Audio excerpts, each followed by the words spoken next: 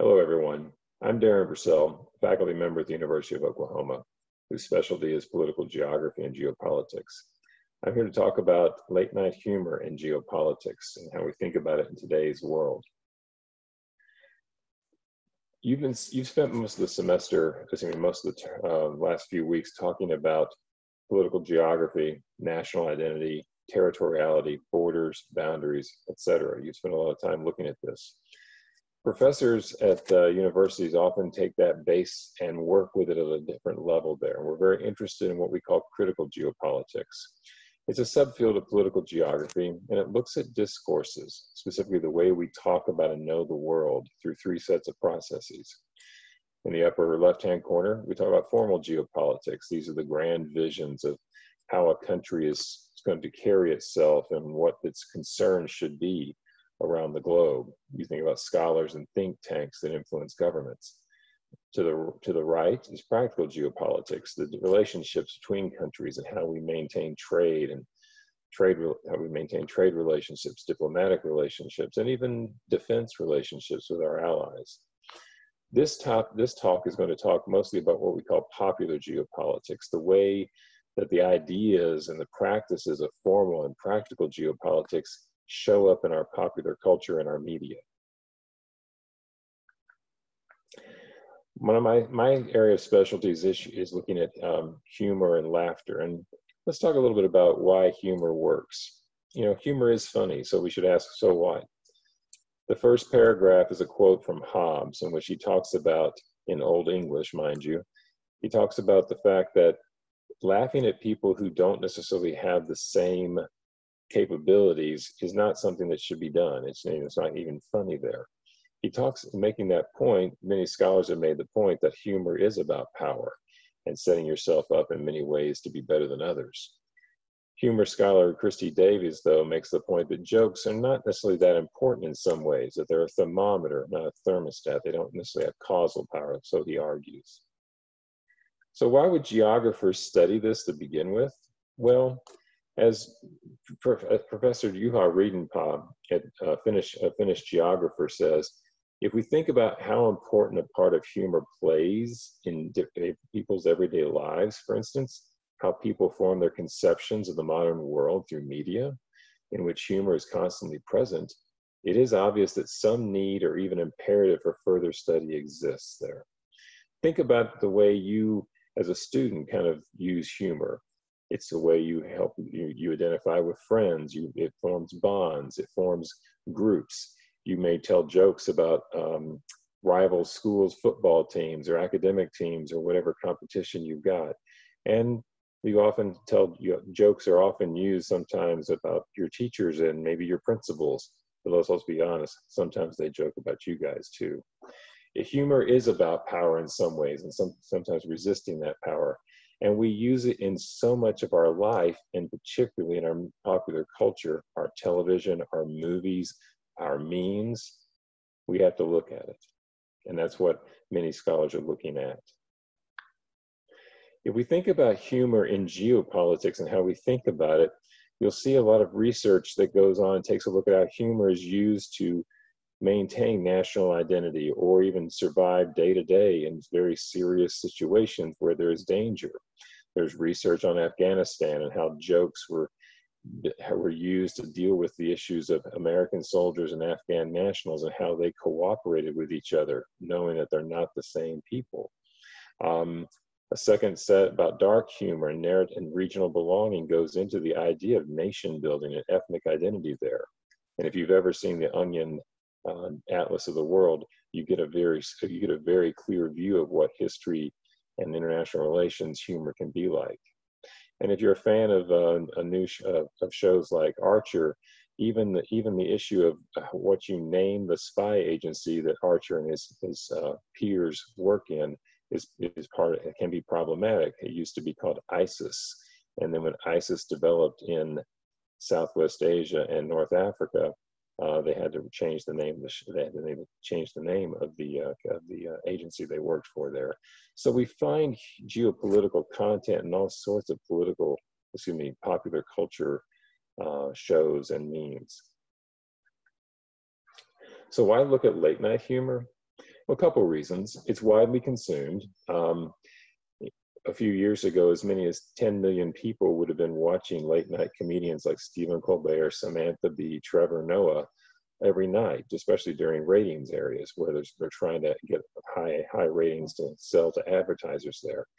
Plus, you also share it on YouTube. You share it in your memes. You you share it in your tweets and such. And so this is important to consider.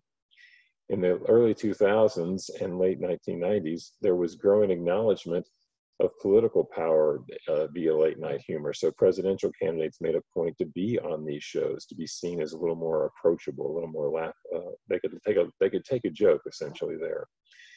There's media coverage of late night comedians' jokes. The New York Times, the Washington Post, and even the Oklahoman will run jokes from the late from the comedians that, that were told the night before on their front pages just to make the point. I'm going to make the argument that late night humor is part of a larger constellation of media practices that kind of shape our geopolitical imagination. Essentially, they reinforce what we think we know about the world around us. Now, late night humor does have certain limitations to it. It's hard to joke about international issues because as this quote from Jay Leno, a retired uh, and former very famous host of the NBC Tonight Show, used to make the point that the audience has to know what you're talking about or else you'll be sunk. The host can't know more than anybody watching. And we've found that once you get past Secretary of State, and even that's a stretch, no one knows what you're talking about. Now, in a world in which we are focused mostly on our own country, if you tell jokes about other countries, it requires that the audience really has some knowledge there, but often they don't. And we often fall back into using stereotypes. There is a theory of humor called superiority theory, in which we tell jokes about others. We talk about other nations, other ethnicities, other groups, and stereotypes often become the basis of that humor there. So we may not learn much from the late night comedians, but it definitely reinforces things we think we know already. Editors and comedians have to make the choices of what's going to go into the five to 10 minute monologue. Once they do that, though, and they tell the jokes, they reproduce the very frameworks that the journalists have put into their stories about whether Rwanda was a tribal conflict or, or Yugoslavia was a civil war, or any other framing that we have that tries to tell the world you know, whether a place is modern, civilized, etc again, so the, this, this graph shows the fact that journalists and comedians actually kind of work with each other and they easily, easily to, they easily reproduce uh, the world we see, often in serious news in our late night humor. I want to talk a little bit about a case study here. In this case, we're going to talk about how China has been portrayed for during a 20 year period from the late 19 mid excuse me mid 1990s to the mid 20 teens there um, China has been a very interesting country for the United States to think about because there's we have a lot of trade connections, some cultural connections there, and the uh, China's economic rise and geopolitical rise and geopolitical importance has been a concern for many around the globe. There, as it starts to flex its muscle around the globe. This, the, the jokes come from a LexisNexis database called the Daily Front Runner. This is a service that used to send um, updates about overnight news to businesses and government agencies. They used to do it by fax. Today it's done by email there. When we were collecting this database, over 58,000 jokes were, were, were uh, scraped, and we used text only, no video in searching that 58,000 uh, jokes, we had to go through and look for specific terms, China, Chinese, China's major city names. We talked, we looked for Olympics, references to Tiananmen. Um, we'll explain that in a moment. Uh, Taiwan, and the names of uh, various Chinese leaders there, which gave us a final data set of about 875 jokes, okay, all told during that 20 year period. Now, if anybody's thinking about taking the AP research course, and I hope you are, you have to think about how you would try to classify these jokes. You can't just, you don't want to just describe them all. Um, so we have to think about coding them and saying, what are they really joking about there? So these jokes often get multiple codes um, because these jokes, through what we call incongruity theory, sometimes are bringing in multiple themes into the joke. It's not just an easy joke to kind of repeat and, and look at. Uh, so sometimes there's as many as four codes there. And we also looked for locations mentioned in the jokes other than China and US um, here. So, and many of the codes that came out we talked about the fact that many of the jokes at late night humor, especially if a president's traveling to China, if they're wanting to make a joke about a US president, uh, China is just a setup, it's a backdrop. You know, the, the president's going to China and they start telling a joke about the president there. We'll talk about campaign issues, that becomes an issue. And in the jokes, the dominant code is China's economic rise and the idea of a perceived threat. Um, human rights becomes an issue, food, economic outsourcing. So you, you've heard about deindustrialization, or you will, in the economic geography section. And the perceptions of, govern, of culture and government, how those differences exist between the two countries. So let's jump in and take a look at a couple of the specific themes here. This word cloud gives us an idea of the, the most the words that showed up the most in the uh, joke data set of the, of the China jokes there. And obviously China's there, but economics sense shows up a great deal. Economic shows up a great deal. And if you look to the far right, espionage shows up. So there's real concerns about um, relations between the two states that show up in the jokes. The word investment in the right hand side shows up, making the point that even comedians are joking about how much investment the two countries have in each other. Uh, campaign was a big issue there in the late 1990s. There, various leaders like Gore and Clinton and Bush show up in the word cloud there. But things like technology and human and outsourcing also show up a great deal there. So we can get a little bit of a feel for the themes just by looking at a word cloud. When we did our um, when we did our uh, study of this, it was no surprise that the China, we mentioned the idea of uh, the jokes, um, if they're mostly about a president who's going to China, it had nothing to do with China, it's just that they were going there because of China's setup. But if you take a look at the uh, categories in bold, these are very important ones. Uh, the, the ones, the, uh, to the left side of the graph are the largest number of jokes told. Um, U.S. economic issues, China, in China's investment in the U.S., their economic rise. These are all important things to have in here. Um, Tiananmen Square shows up just a little bit. That goes back to human rights. And then, oddly enough, and perhaps no surprise to anybody who knows anything about um, China, pandas show up as part of the jokes a good deal as well. So let's take a look at specific jokes and take out how they how they how they kind of how what they were expressing about U.S. concerns over China there. There was a Democratic campaign scandal in the late 1990s in which Chinese um, monks were trying to get money into the Democratic National Committee there and try to improve China's image in the US, if not influence policy there. And to make that point with terminology you all know, this was seen by many observers and many US citizens as meddling in our elections and a violation of sovereignty, um, which is an important concept to think about in the course. So, you know, one of the questions, uh, one of the jokes that Jay Leno was talking about was what, why he was going to China in spite of all the human rights violations there. And he said, well, it's all money under the table again referencing the fact that Bill Clinton's campaign was possibly getting money from the uh, from Chinese nationals there. Um, and in the, in the mid 90s, they were also making the point about Vice President Gore also making a trip to China and calling it the money store, which is a reference to a lending, a payday lending group that they would uh, deal with there. One of the biggest concerns that came in the, in the uh, 20 teens uh, from about 2010 to 2013 was the rise of Chinese ownership of US debt and investments there, meaning that they had a great deal of, of influence over the US economy, at least many saw it that way. And again, it raised, you know, the comedians were joke, telling jokes about sovereignty basically in a globalized world because the two countries are very interdependent in terms of trade and markets. So sovereign, you know, concerns about who owns what becomes a real issue there. In the first joke, uh, Leno makes the point that the US went from being a colony owned by the British to a free and sovereign nation now owned by the Chinese, making the point that there was a great deal of Chinese money flowing into firms and property there. And the last joke is even more pointed um, on this, you know, take, you know, read that one. I don't want to say the Chinese own a lot of property here, but while driving down Pennsylvania Avenue, Washington, D.C., that is, the Chinese president was hanging out the window going, Got it, got it, need it, got it, got it, making a point of what he allegedly owned in Washington, D.C. there.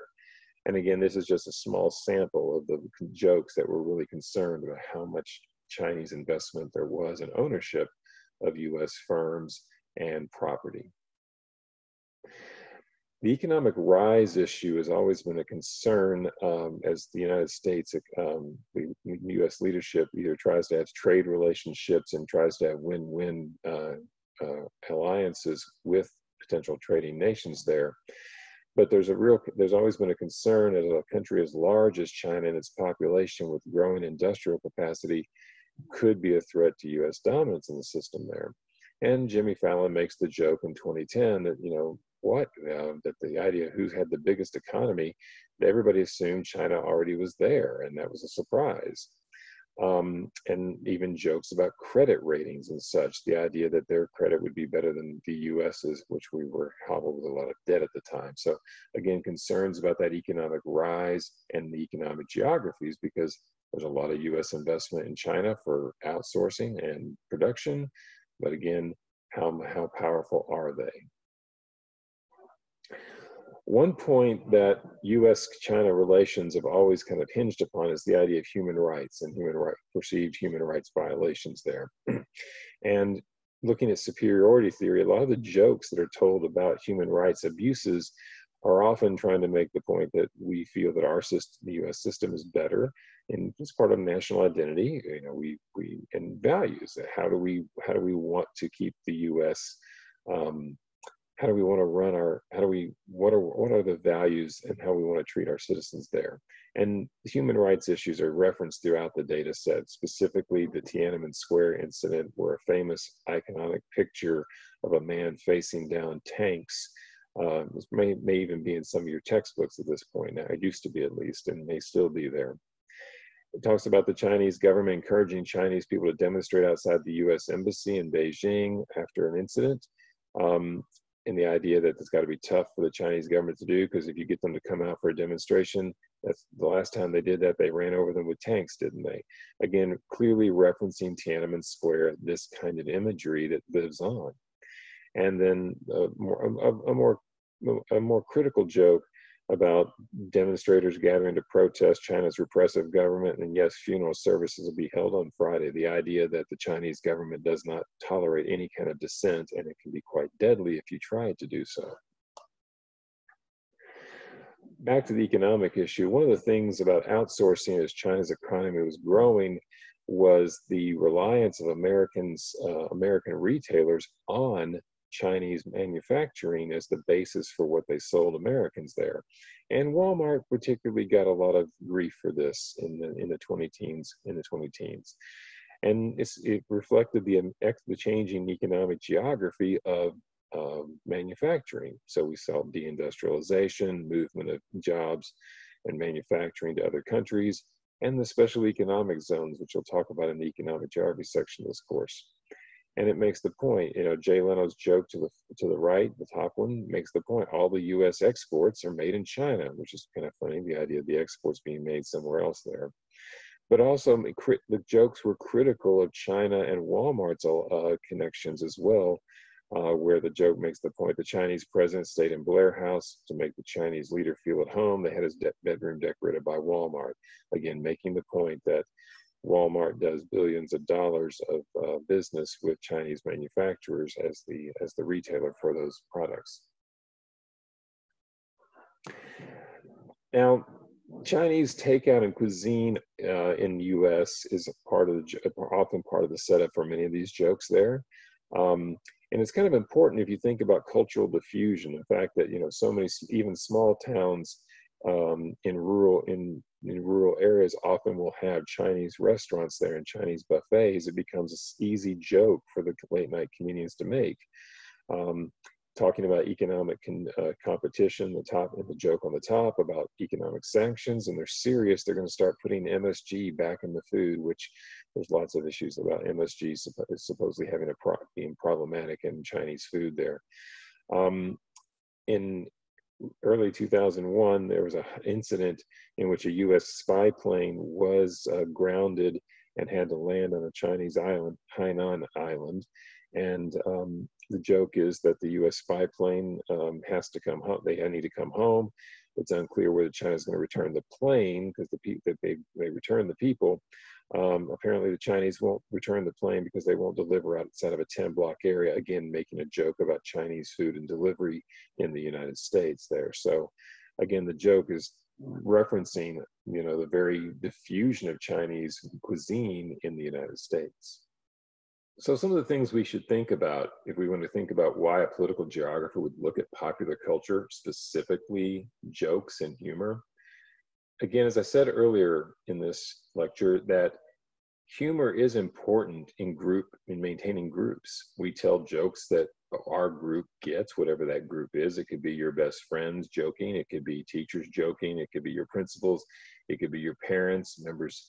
You know, it's it allows the joke it allows the group to have a shared cultural reference and a, and a view. Laughter does work. It is allegedly the best medicine. But jokes often unified the nation, at least the viewers of those late night monologues about those issues. The jokes are written to elicit laughter. They're trying to make something funny, perhaps a serious, a serious situation, not be so threatening there. So there are those who'd argue that the 15 million, 10 to 15 million viewers tuning in every night kind of had a kind of a, a, group consensus about what's going on in the globe and, and it reinforced certain things they believed about it and could laugh about it there. These jokes are often ripped straight from the headlines there. So again, Trevor Noah, Samantha Bee, anybody else who's on late night deliberately has writers looking at the news to try to make the jokes relevant to you and anybody else who's in the audience there.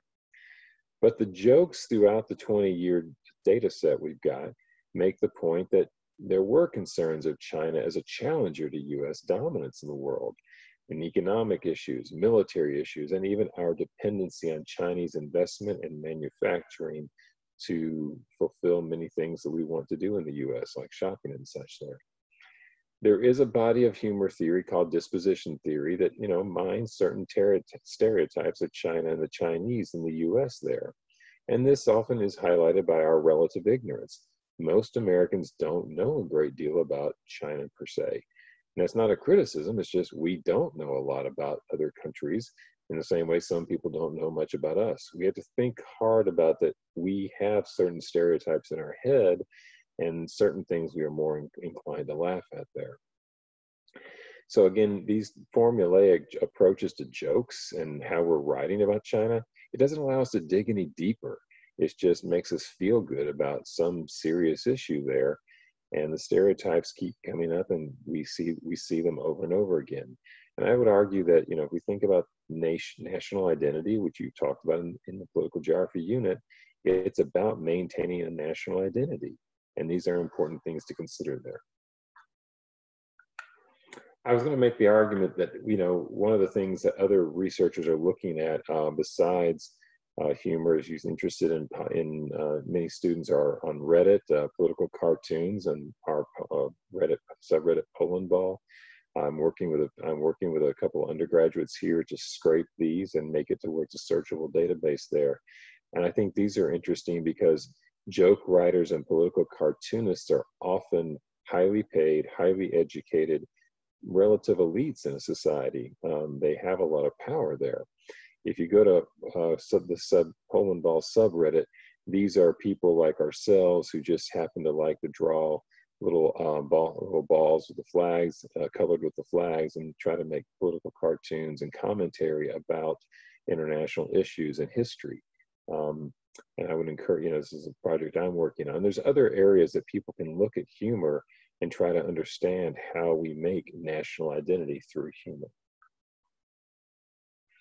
So again, connections to kind of bring this back to back to back to the course there. Popular culture, and if you've done the cultural, you've done the cultural geography section, we know that popular culture really does reinforce specific worldviews there. Things you get from the media, things you get from your parents, uh, things you get from your textbooks, all shape your worldview, you what we call your geopolitical imagination. And straight out of the AP course guide, culture comprises those shared practices, technology, attitudes, and behaviors transmitted by society. And if we're telling jokes about ethnicities or other countries, that's part of our popular culture and it's part of our geopolitical imagination there. Our popular culture shapes our own sense of national sovereignty there. Many of the jokes that we just discussed are all about the issue of who's interfering with the US uh, activities and our economic activities and our government. And that's a real concern today, and it was with other countries even a decade ago. And lastly, humor and laughter can mark someone as a, in, as a member of that nation there. Jokes are often done along ethnic lines. There's a great deal of research on ethnic humor, and it never goes away. But it does allow someone to be brought in. If you're laughing at that joke, perhaps people will consider you as part of that group.